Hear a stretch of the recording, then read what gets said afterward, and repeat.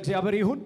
የምታዩት ወንድማችን አስደናቂ ምስክርነት ይዤ መጥቻለሁ ይላል። የመጣለት አስደናቂ ምስክርነት ምንድን ነው? ከዚህ የተጸለየበትን ዘይት ይወስድና ለአስር ዓመታት ያህል ወንድ ጓደኛው የአማኑኤል ህመምተኛ ነበር፣ የአእምሮ ህመምተኛ ነበረ። ከዚህ የተወሰደ የተጸለየውን ጸሎት ከወሰደ በኋላ ያንን ሰው እ፣ በውሃ ውስጥ አድርገው ሰጡት።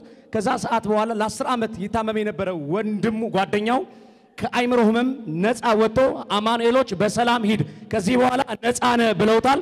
ይሄ ለመመስከር መጥቻለሁ። ይህን ላደረገ ለእግዚአብሔር እልልታ ጭብጨባ ምስጋና ስጡልኝ ይላል። ከፍ ያለ እልልታ ጭብጨባ ለእግዚአብሔር።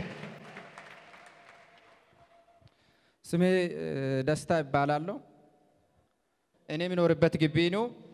ለእናቷ ሐዋርያ እስራኤልን ሐዋርያ ዲዲያን እዩ ጩፋን እወዳለሁ። ሶስቱም የሐዋርያ ዲዲ አምላክ፣ የሐዋርያ እስራኤል አምላክ፣ የእዩ ጩፋ አምላክ በዚህ ዘይት ላይ ታምራት ስራ ብዬ ለእናቷ የአማሌል በሽተኛ ነው ልጁ። ዘይቱን ሰጠው። ወስዳ ፋርታ ምን አደረገች? በምግቡ ላይ ጨምራ ስለማይቀበል እብድ ስለሆነ ስለማይቀበል በምግቡ ደብቃ ጨምራ ሰጠች። ያንን ምግብ በላ። ከዛ በኋላ በሁለተኛ ነው በሶስተኛ ቀን ልጁ ዲኖ በሰላም ወደ ቤት ለእግዚአብሔር እልልታ ጭብጨባ። ለስንት ዓመት ነበር ያህል ይታመም የነበረው? ከአስር ዓመት በላይ ነው በሽተኛ የነበረው። ሁለተኛ ደግሞ ሙስሊም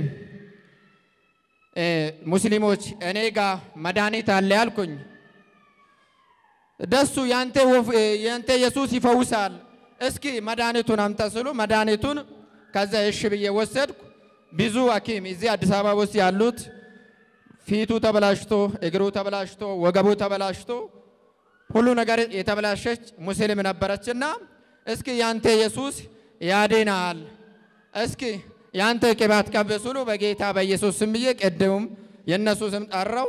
ከዛ በኢየሱስ ስም ብዬ ያንን ዘይት ሰጠው፣ ተቀባች በሰላም። ከዛ በሁለተኛ ቀን ደሱ ደሱ ያንተ ኢየሱስ አድኗል። ሙስሊሞች ናችሁ፣ ይህ የእግዚአብሔር ስራ ነው። ደሱ ያንተ ኢየሱስ አድኗል፣ በሽታውን አራግፈዋል ናይና ያሉ ሄጄ ያየው ፈነዳ። በአንድ በሽታ በእግር ነው የፈነዳው። ፊቱ ሁሉ የተበላሸበት ተራግፎ ያንተ ኢየሱስ አዳነኝ ብሎ ምስክርነት ሁሉ ውሰድ ብሎት ነበረ። አሁን ቆይቷል ጊዜ እግዚአብሔር እነሱ ካመቻቹ ሴትዮዋን ይዤ እመጣለሁ። ምስክርነት እዚህ ትመሰክራለች። አሁን ተፈውሳለች። ምንም ተፈውሳለች።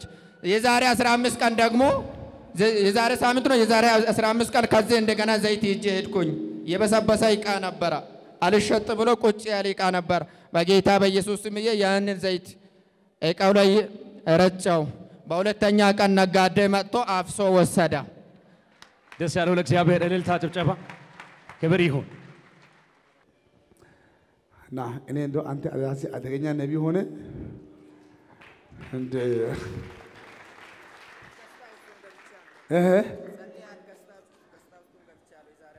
ና ተመልከክ። ከዛሬ ቀን ጀምሮ በጌታ በኢየሱስ ስም ጸጋው እጅ ስጠኝ። በዚህ እጅ ሰዎች ይፈወሱ። ዛሬ የተባለው ቃል በአንተ ላይ ይገለጥ። በትንሣኤው ኃይል ይሁንልህ።